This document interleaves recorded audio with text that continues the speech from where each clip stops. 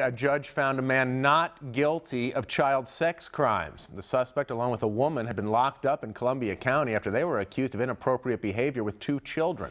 Newswatch 16's Nikki Krize live in our Central Pennsylvania newsroom. Nikki. Scott, Daniel Galindo is a free man tonight. It took a judge in Columbia County less than two hours to decide he is not guilty of the charges against him. Galindo was accused of having a young boy and girl from Berwick engage in sex acts with each other. His former girlfriend faces the same charges. Daniel Galindo walked out of the Columbia County Courthouse in custody, but his attorney expected a quick release from jail after Galindo was found not guilty on four counts of child sex abuse.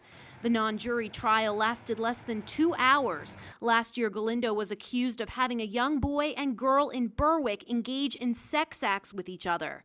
Both children testified at the trial, and both said it was Galindo's former girlfriend, Christina Allen, who made them perform the sex acts. One of the children said Galindo was not even there at the time.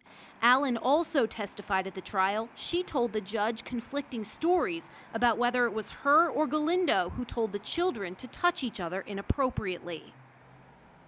Galindo's attorney, Hugh Sumner, did not call any defense witnesses to testify, and the judge said there were significant questions in the case and he could not convict Galindo beyond a reasonable doubt. Daniel Galindo spent the past 16 months in jail but is free tonight. Christina Allen still faces child sex charges in Columbia County. A trial date for her has not yet been set.